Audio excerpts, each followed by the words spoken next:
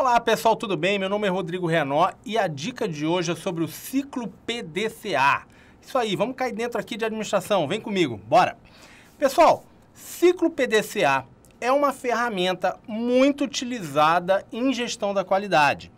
Basicamente é um ciclo que, é, digamos, se retroalimenta que visa melhorar os processos através da melhoria contínua, ou seja, você vai repassando ali o ciclo e a, a, a ideia é você ir melhorando aquele processo pouco a pouco.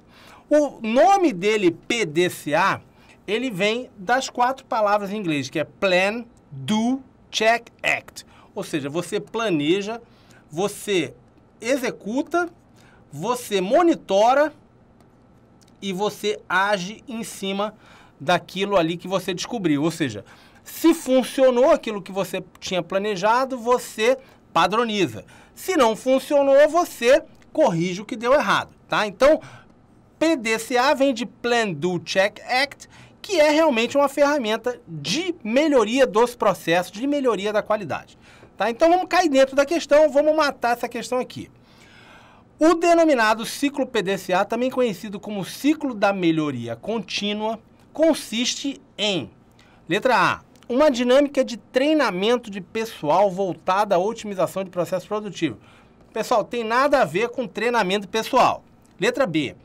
Uma ferramenta utilizada em processos de trabalho, apresentando como etapas finais ações avaliativas e corretivas. Tem a ver com PDCA, gente? Tem tudo a ver com PDCA. Fase final exatamente é monitoramento e, a, e, e ação, correção. Então, esse é o nosso Gabarito. Vamos lá, letra C de casa.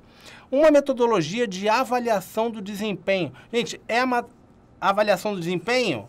Não, não é avaliação de desempenho. É de melhoria dos processos, melhoria da qualidade.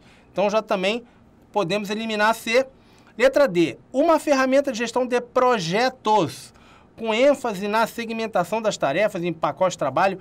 Não tem nada a ver com gestão de projetos.